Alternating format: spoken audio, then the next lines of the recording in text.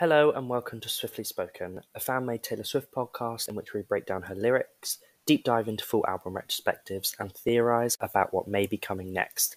As always, we are your hosts Cameron and Lisa, and in this episode, we're going to be reacting, recapping, and discussing Speak Now Taylor's version. After having teased Speak Now Taylor's version ever since the release of Midnights with the Bejeweled music video, during the Friday, May the 5th concert in Nashville, Taylor officially announced Speak Now Taylor's version.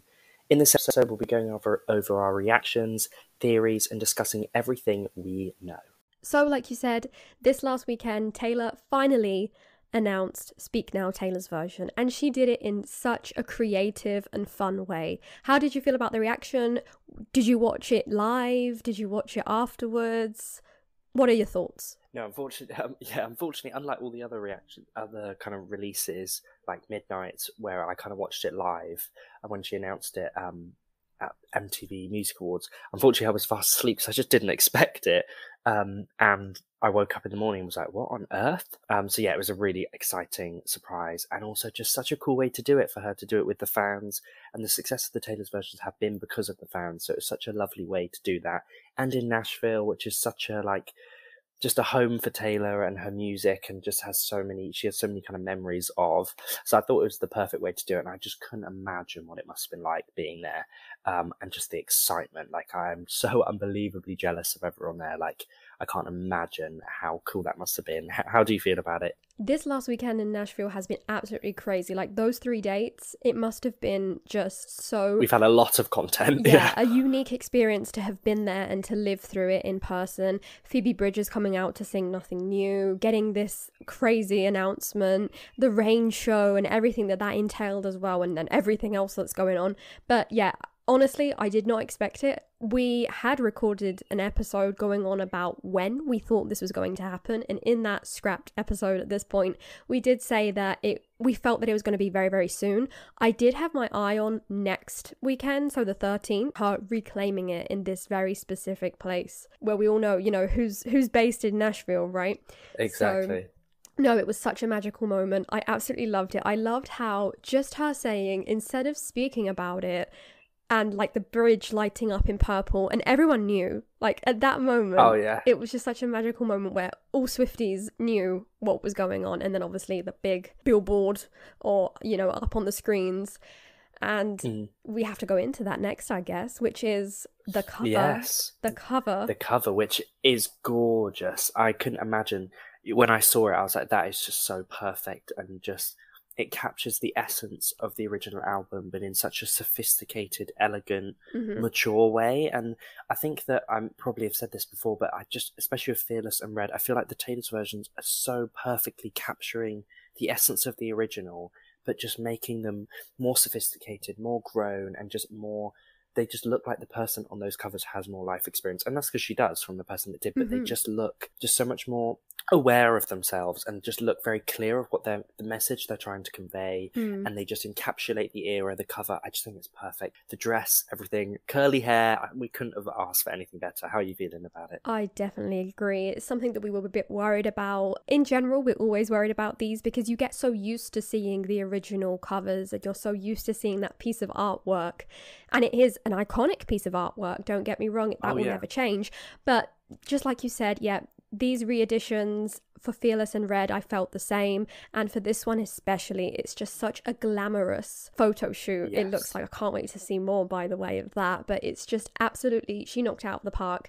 The purple dress, which, oh, you know, Swifties had set the bar oh. high in their edits, but she really came and she provided for us. Oh, like, definitely. like you said, it's very so much more sophisticated grown up the hair just blowing back casually but at the same time you know that look of knowing that she's about you know she's about to speak now is exactly what she's about yeah. to do no it she really captured like you said she captured the message of this album but put it out there mm. with that much experience and time and perspective between the original release and now, which is another really poetic thing that has come about with these Taylor's versions. We see them through a different light, and so does she. And she's able to mm. use that perspective and time to inform these re-releases, which is really really interesting. Yeah, no, I, I think it couldn't be more perfect, and just cap the dress is gorgeous. It kind of captures the flowiness and elegance of the original, which ironically isn't actually purple. No, um, and obviously is like a paint splatter.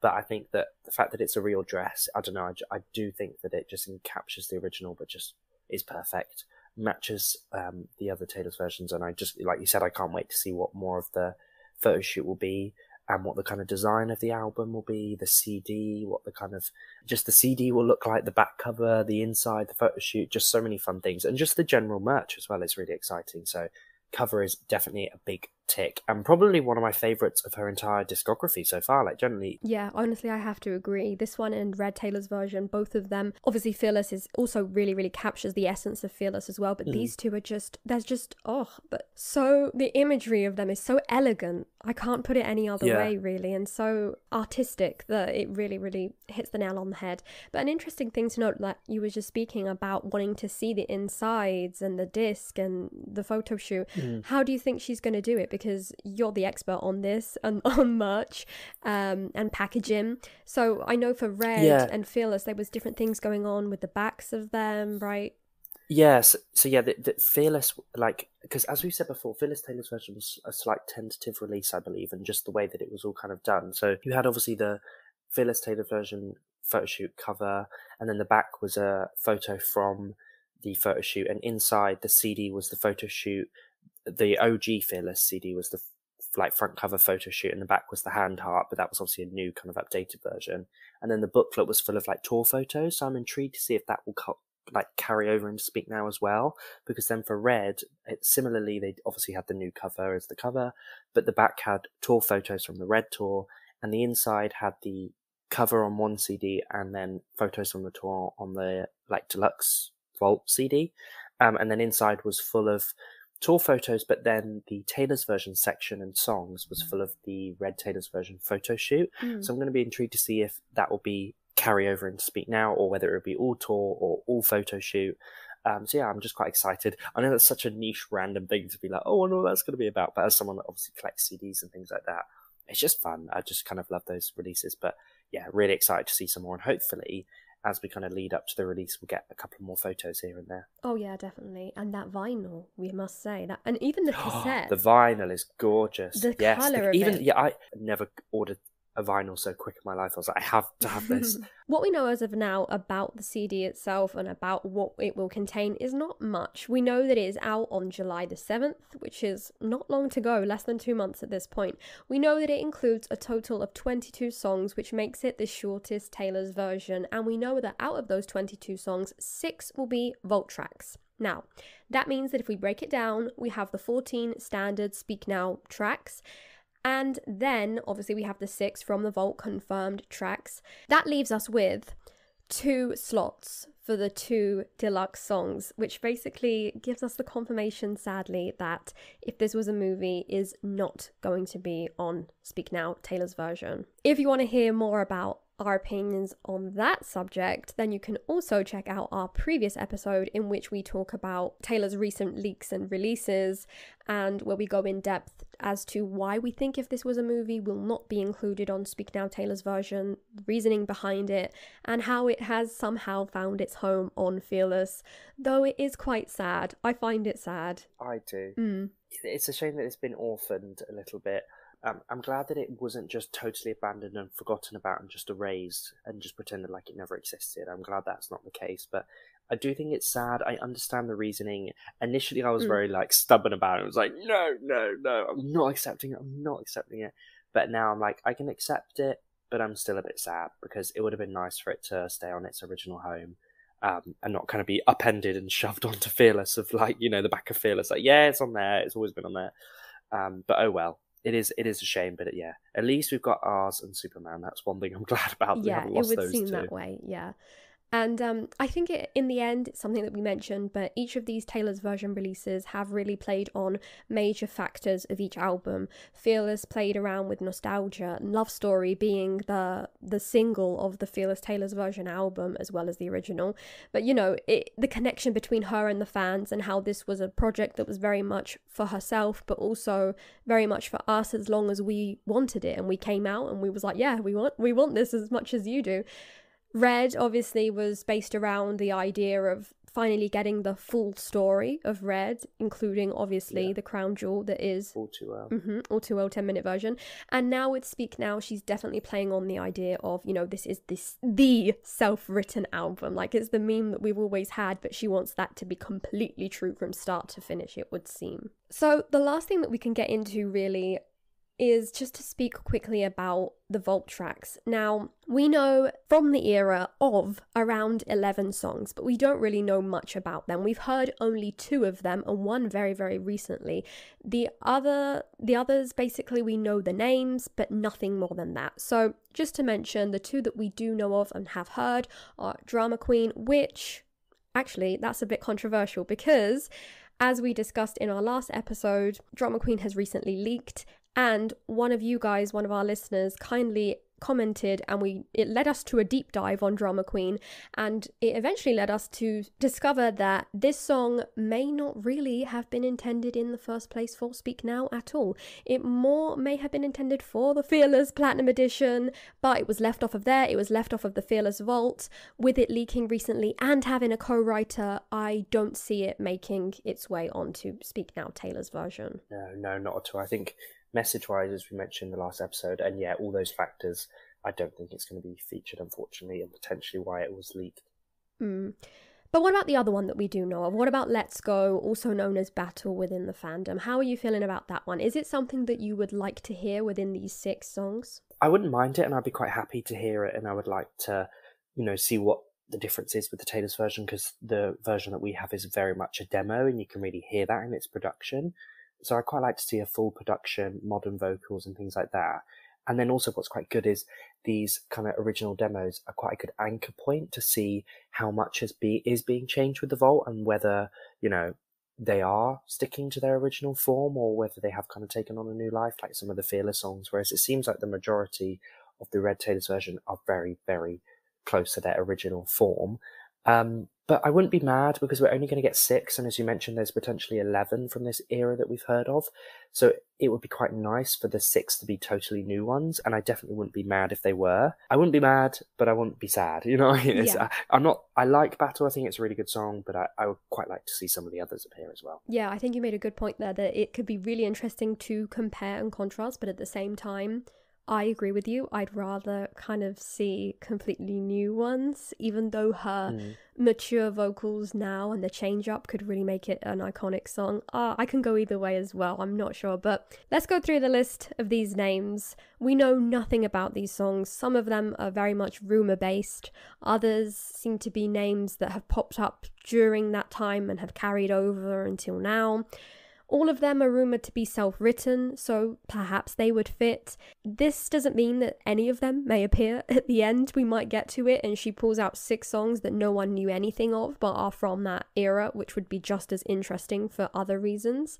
But anyway, these are the ones that we know of. These are the names to bear in mind and look back on when we do eventually get the vault tracks revealed. We have His Lies, Timeless, Bother Me, Castles Crumbling, I Can See You, Someone Just Told Me, Wonderful Things, Foolish One, and finally, If Kisses Were Wishes. Out of all of these names, essentially that's all it is a list of names. How are you feeling? Are there any that really scream out to you? I think I think maybe things that bother me is kind of giving me better than revenge vibes. Castles crumbling, I quite like the idea of that. Foolish one makes me feel I don't know. It makes you feel like lucky one kind of vibes of like, oh, maybe I'm the you know maybe I didn't mean this, or it could be again, it could be a better than revenge kind of feel. Mm. So I'm not too sure. I think I've always really struggled to get much of a feel from track lists. I think especially with the like Midnight's one, some of those track lists when we were being kind of teased them, I was like, some of these names, I was like, what on earth? Like vigilante shit. I was just right. like, this is really weird. So I've always found that it's really hard to kind of judge what the song's going to be, and I'm really rubbish with that. But there's some really interesting ones in there, and potentially we could even get them, and it'd be a bit of a bye bye baby situation where it might actually be one of these songs, but maybe it's not actually called that. Yeah. Um, so yeah, I'm intrigued to see what, what, what we get. And but out of there, yeah, I think the ones that are kind of calling out to me is like Bother Me, Castles Crumbling, Foolish One, and potentially If Kisses Were Wishes. I quite like kind of mm. the way that that's kind of phrased. Yeah, I agree with you. I think the one that most intrigues me is definitely Castles Crumbling because many of them they don't really they don't say much. They can go either way. Is it am I the foolish one? Are you the foolish one? Who's the you know? What did someone mm. just tell me? But with Castles Crumbling, we do have like a negative connotation, and it does fit the aesthetic of you know a bit of fairy tale. It that period yeah. of her life was coming to an end at this point, and I I, I don't know. I want to hear it. I'd like to know what she has to say. It's uh, imagery that carries throughout Speak Now and the era itself, which would be interesting to see. You know, spun in a more negative way perhaps. That one is the most yeah. intriguing to me. And yeah with if kisses were wishes because most of these are just names that we've got through different you know publishing and websites. But if kisses were wishes this was one that taylor mentioned to a fan right? Yeah i believe yeah it was at the tea party. I think a fan asked her like what kind of song she was writing and taylor said this one supposedly. But as we're quite aware sometimes from kind of meet and greets and taylor said it herself especially when we spoke to um, Madiha when she kind of gave us all the insights on the Love Lover Secret session, and Taylor literally told the Secret session sessioners like, "Do not quote me. People are quoting me, and that's not what I've said. Like, you know, mm. you know, don't like say this a direct quote from me. So you never really know how true these things are, and obviously they do start to become like whispers of like it seems like someone says one thing and then it kind of gets misconstrued, and the next person says another that's totally different from what it originally was. And this just happens in general with just misinformation throughout the fandom sometimes. So um, we never really know, but it's still quite exciting, and it would be really cool if that did come to kind of fruition. And you know that fan that did ask that question could then actually eventually get to hear that song. That would be so. So cool. yeah, that would that, that would, would, be quite be. exciting. If, it, if it's true, honestly, now that you've said that about that fan, that would be like so amazing. Imagine being that fan and after all these years yeah. finally getting that one little mention song. It. Again, like we mentioned, we're just glossing over these quickly, but if you want any more details about what may appear on Speak Now Taylor's version Vault, our opinions as to what is most likely, a bit more in detail of what we do know, and our opinions also about who may be appearing as the features or who we would like to appear in a dream world as the features, then please go check out our episode based entirely around that. Finally, now you'll be hearing us talk about some interesting re recording information, the 2024 calendar, and a possible Speak Now Taylor's version or Speak Now Taylor's version related music video. We recorded this section before the Speak Now Taylor's version announcement, but it still makes sense to the general conversation and the Speak Now hype. One thing though, just to bear in mind, is that there's been lots of Karma music video rumours recently, so this mu- potential music video could also be for that, or related to Speak Now somehow, and used to perhaps tease Speak Now content, just like Bejeweled did. A couple of weekends ago, we got some photos from a music video set where supposedly Taylor is recording something. We don't know yet. There's a lot of interesting details that we've kind of I mean, again, we discussed this in last episode where leaked things, it's always difficult to discuss. Obviously, on one side, Taylor wouldn't want us to see these things, but on the other side, it creates so much hype around it that, in a way, is it detrimental? I don't know. How do you feel about seeing these photos before the MV is dropped? Yeah, I do think it's really interesting these kind of things. And I think it's a bit similar with the Project Acorn thing that happened during Red, where there was so much hype about what that was, what, what, what was that, what was that. And I don't know if we, to this day, even really know what that was. And also then flashing back to things, say, in the Reputation era when Taylor was recording Endgame in London, and how much of that we saw pre music video, it, and also then all the stuff of her on the boat. If you remember, there was a kind of paparazzi shot, and then there was all rumors that Katy Perry was yep. in the music video. Oh god! I think it does just add to the hype because I don't think it ever, I don't think it ruined the video at all. It just made you excited. You said, "Oh, I want to see what this is about," and all this is exciting. And I think what we have seen so far of the music video definitely doesn't ruin it. I do think it just adds to the hype of it. Right. Um, but obviously, it's not great because it would be nicer for it to be a total surprise. But I don't think it's it's difficult. It's one of those things that adds to hype, but also does slightly ruin it. I think it's a bit like what's going on with Wicked at the moment, where we're seeing so much of like leaked footage or from set and stuff like that that it's like oh that's slightly ruining the surprise of seeing stuff but, But at the also same to the time, yeah, at the same time, I'm not a person that maybe would have wanted to check that out. But now that I've seen Hmm. some of the clips from it, I'm like, actually, no, this is interesting. So yeah it's difficult. It is it, it- difficult. It, serves both things. It's it's it's almost you know like the saying "good press, no press is bad press." It's Mhm. one of those things where it's almost like it's not great. You don't really want it to be leaked, but it, at the end of the day, it's only creating more hype and potentially making more people aware of something that they weren't if they weren't an avid fan and paying close attention and now aware of, whereas they Mm. might not have been before. So yeah, it's it's complicated. It definitely is complicated, but I do think those photos reveal quite a lot. They're very interesting. So we are going to get into them a little bit. Now, if you don't want any spoilers, you can skip through this part, that's no problems. And also, before we do get into it, we have to take everything that we think we can see and what people have said with such a massive grain of salt. Because, as you just said, perfect example is Endgame. They were like, Ta- uh, Taylor Swift and Katy Perry are on a boat together. No, she really was not. So, we're going to discuss some things, rumors. Firstly, what she's wearing. So we have like this one Yes. grainy picture, which I think everyone on the internet has seen at this point, and it does look like she is wearing the Speak Now tour clothes. You know, the Sparks Fly iconic golden dress and the black boots. It does look like she is wearing that. She's got like curly hair right. and everything. So, So yeah, it is one hundred percent. It's that outfit. I don't want to believe anything else. I, I know. I, that I, I want it to be so bad because oh, the nostalgia. She's just so good at, at doing these things where she captures just the right amount of nostalgia but recreates it in a perfect way. It also this is so exciting to me and something that I can't.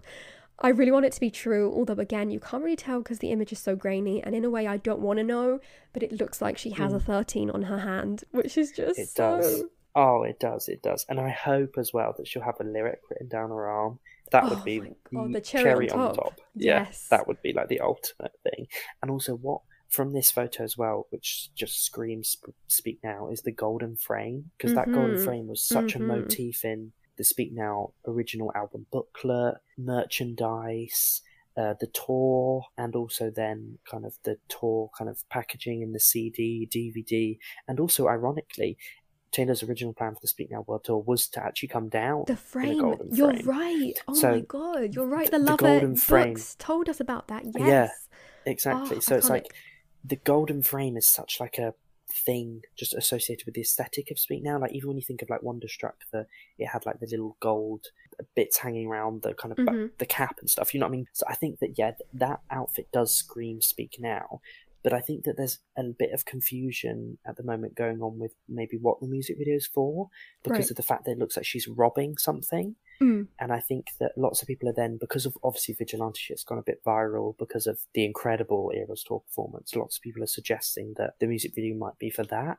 But from this kind of outfit, I just think, I just think it's Speak Now. Like, I, I, I don't think it's Vigilante shit at all. It would be a very strange crossover. I know that we've just come off the bat of explaining Bejeweled and going into all of the Easter eggs that are included in the Bejeweled video, but at no point does she quite clearly, you know, dress up in an old clothing of hers. I guess then people could argue, yeah, but what about reputation or what about this?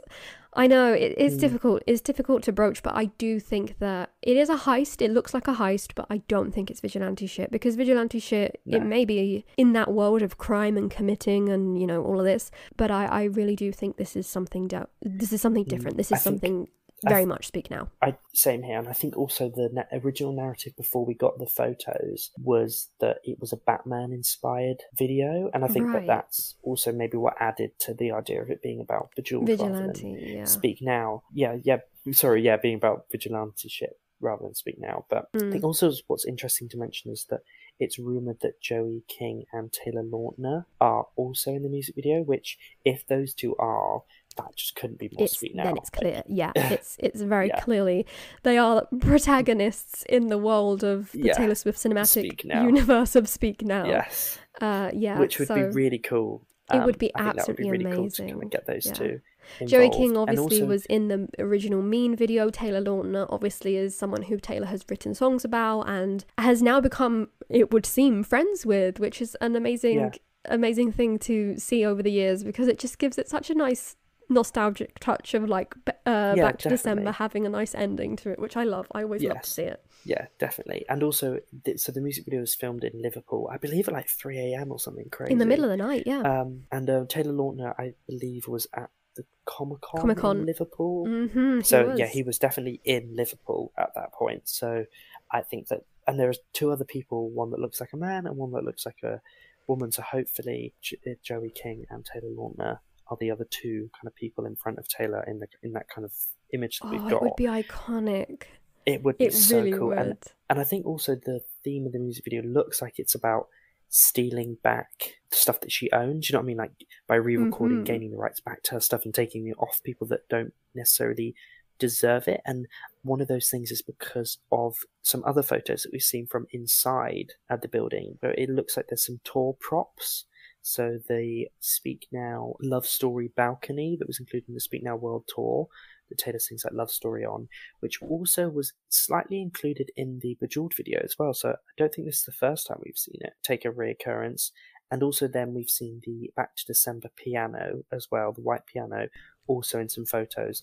I'm not really sh- th- those photos don't really look like much of a set though, if you know what I mean. It's just got like some random mannequins and looks Yeah. kind of like just randomly placed. So again, I'm not too sure, but we can't be sure. Take this all with a pinch of salt, but yeah, in those photos, they could be when they were still being set up. Maybe then Yeah. it was set up. The mannequins could have had iconic Speak Now outfits. outfits on them. That Yeah. would be amazing. Like, there's so many things that if she is like doing a heist kind of thing and she's breaking into the museum and, you know, pulling back her past and, and getting it, oh, so iconic. Yeah, I, I don't know. Either Joey King and Taylor Lautner being her partners in crime or her breaking them out of there, both Out, would be maybe yeah. amazing in my opinion. I just love it, but I think what kind of Speak Now song would that go with? You know what I mean? I'm. I don't know because Do you some, think it'd be some people were like enchanted, and I was like, No, I don't know not- about that. I don't want Enchanted to have a heist video. No way. Enchanted for me, I want you know like the Wonderstruck perfume adverts. yeah, That's yeah. how I see it's Enchanted. giving Like, that. well, it's giving the yeah. the Eras tour performance. That's what you know, like Yes, captures yeah. the essence perfectly there. So I don't know. I'm thinking, you know what? I'm gonna give two uh, opinions. I I am thinking two different things, and you guys can let me know how wrong I am or not, and you can tell me your opinion, Cameron. But I'm thinking either a Vault song, which is gonna fit somehow, or you know what? Better than Revenge. Oh, imagine. She's gonna go in there. She's like, "There's nothing I do better than robbing some of my old out, old Yeah, artwork exactly. back." yeah, it, it is giving better than Revenge or a, another Vault track. I think it'll be a Vault track. I think so far, obviously, we've only Mhm. Fearless didn't really have any music videos as such, but from Red's patterning, obviously Yeah. the only song that got a music video was a Vault track. Obviously, All Too Well got a short film. Again, that is also a Vault track. Mm. It's a Vault 10 track. Mm.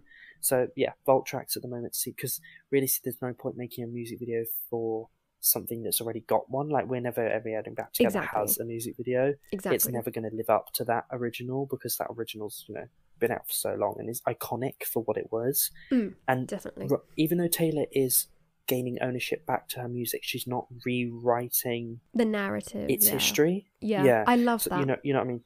She's Yeah. not going back and like, like you know, with like Twenty Two. So she's like wearing that outfit at the era. So you know what I mean. Rather than totally, ch- obviously she's mimicked it and made you know what I mean, changed stuff like a lot going on, which is obviously different. But she's not like going back and like redoing the music video and changing this up and making because it, it was what it was for a moment and now Mhm. it's being kind of you know reclaimed rather than Exactly, yeah. rewritten. Potentially, it could be if this was a movie. Imagine if this movie does get a life on Speak Now, it gets a little music video. That Just would a- be, that would be It- I just released it before, just for for giggles. yeah. Thought I initially thought I think we mentioned we might mention it on an episode or off mic that we kind of thought maybe towards the end of the year get Eras tour out of the way, potentially do it then. But I think why not do it during the Eras tour? Like, what a better way to promote an album than Right. really, you know what I mean? Like, she's at the peak of her career. Like, why why not? And let's face when- it, the more that she performs these songs, the more that they're gonna be streamed. Like Exactly. realistically. Exactly. Yeah, that's the thing. And also, which is interesting to mention, is that obviously we got that video the other day from the dancers in rehearsal where we heard Enchanted Taylor's version. Right. So we yeah. definitely know that It's that song is recorded. contentious though because I have read some people saying that for obviously for concerts artists do have Yes, like a they do backing kind of track, record. so they have to Yeah. record some things. But then again, it was like so crystal clear and sounded Mm. amazing. So, and because I've seen mm, lots of stuff as well about people saying that for like "Don't Blame Me" and stuff, what sounds like the backing tracks doesn't sound like the original. Yeah, It does sound like re-recorded, and like Right. you said, artists do record stuff, backing tracks and yeah, stuff for with their most recent vocals. Yeah, exactly. If you can do that, why not? You know what I mean?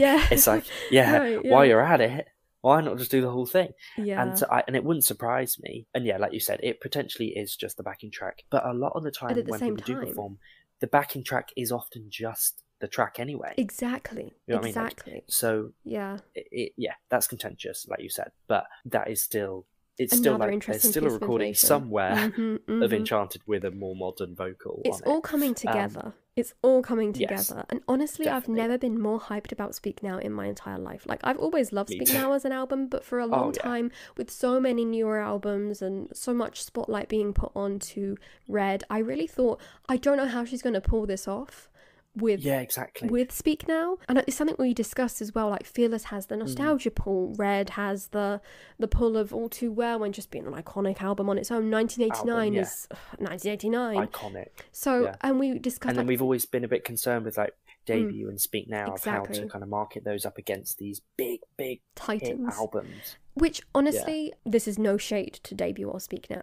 because they are amazing albums Oh, on their own. Like They're like two of my faves. exactly. So, but they are kind of smaller, if you will, within the fandom, and you you can tell that by you know how they chart The sometimes. Eras tour, and the For yeah. example. Unfortunately, yes, yeah. But I do think that she's gearing up. We know that Taylor's a mastermind, like no pun intended. Hmm. She just she knows how to market things. She does. So I think that another thing that she's done well is put the space between the last Taylor's version and the next Taylor's version through Midnights.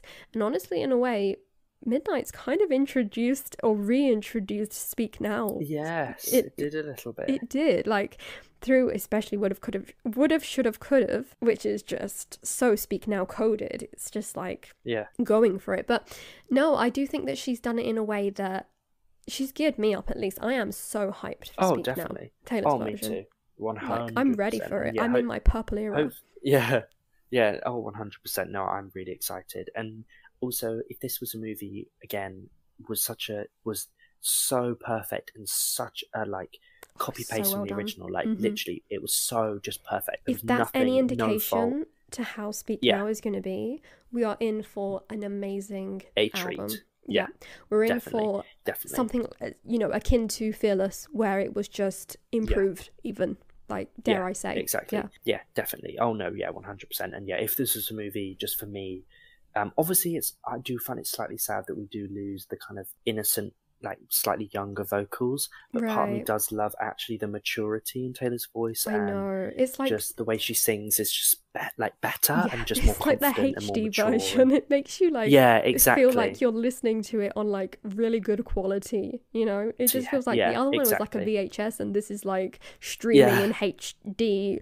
4k quality like- you know yeah, exactly. Yeah, yeah. No, I, I know what you mean. So yeah, it, it there is an element of sadness, but also when Hmm. they're enhanced and made better, you're like, nah, cool. From what we heard from if this was a movie, if the rest of Speak Now is as perfect uh, in regards to its original to its Taylor's version as that, then yeah, we're definitely, definitely in for a treat. But the last thing that we can speak about as well, which has just happened like today, so we've been speaking about it, is that the official Taylor Swift calendars have now been put up. I think they were it was on Amazon, and the Yeah. 2024 calendar includes Speak Now World Tour images for the whole year. yes, enti- yeah, the entirety, yes, which is interesting, and I think that is kind of the calendars are obviously chronologically, you know, throughout her career have always kind of tracked photo shoots, tours. It's been quite kind of continuous.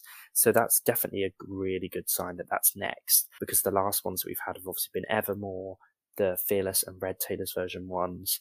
Um, but the, obviously it's, people are slightly surprised why Midnights isn't the cover and why we've kind of jumped through to speak now, but just because of the way the calendars are made and obviously they have to make them years in advance because to get authorized and go into print, obviously the Midnights photo shoot wouldn't have been out by the time that they would have had to release all that. So obviously there was they clearly knew even back then that Speak Now would be next, so that was clearly known for a while. Very Because interesting. it would have been nearly a year in advance, um, if not, you know, nine, ten months in advance to, you know, what I mean, the year that it has to be in. Then yeah, so it's interesting that that is next. Definitely a really good sign, though. That is a really good sign. And I think yeah, if you do want to hear all of our thoughts regarding Speak Mhm. Now and its Vault, then do check out our Speak Now Vault episode where we go into depth into kind of everything that we know might possibly get some unreleased leaked tracks or titles of tracks that we know of and our hopes and wishes for vault collaborations who we want to be on the vault hmm um, and also what we think is realistic in regards to the vault but yeah so check out that episode if you want to kind of hear more We've now come to the end of this episode. If you did enjoy, then make sure to like over on YouTube and also let us know in the comments how excited you are for Speak Now, what your theories are. We want to hear all your thoughts. Um, also, if you're listening over on Apple Podcasts or Spotify, make sure to rate us. And also, just to make sure that you're up to date on when episodes are coming out, um, follow us over on Instagram at Swiftly Spoken Podcast.